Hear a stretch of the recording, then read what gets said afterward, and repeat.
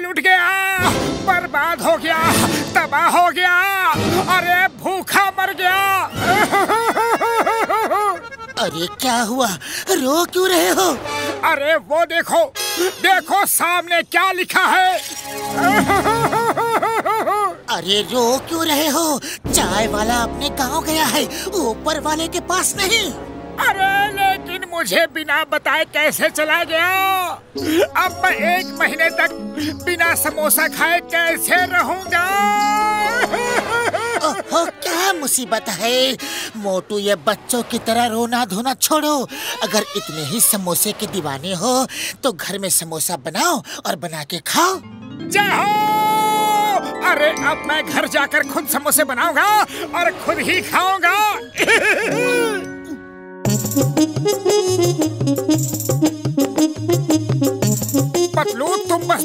रहना मुझे कोई भी डिस्टरबेंस नहीं चाहिए। तुम अगर किचन में हो तो दूर ही रहने में भलाई है। ज़रूरत पड़े तो आवाज़ देना ओके? सबसे पहले कुकर में ताजे आलू उबालो। ताजे आलू? अरे वो तो किचन गार्डन में ही मिलेंगे। हाँ।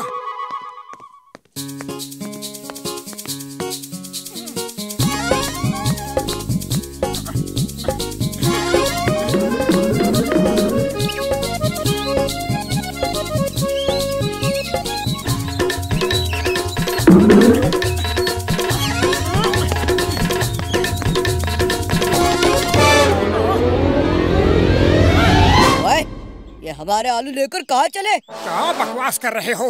अरे ये मेरा आलू है। मेरे किचन गार्डन का आलू। गार्डन का जी लिखना तो आता नहीं और आलू तेरे? गार्डन तेरा? अभी बताते हैं।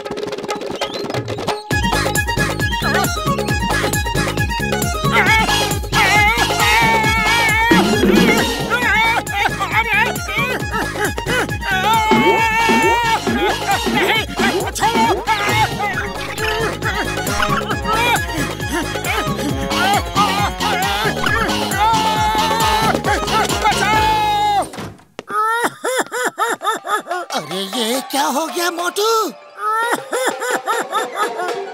चूहों ने काटा और सारे आलू भी ले गए। हमारी बिल्ली और हमी से म्याओ अरे बिल्ली नहीं चूहे। हाँ हाँ चूहे।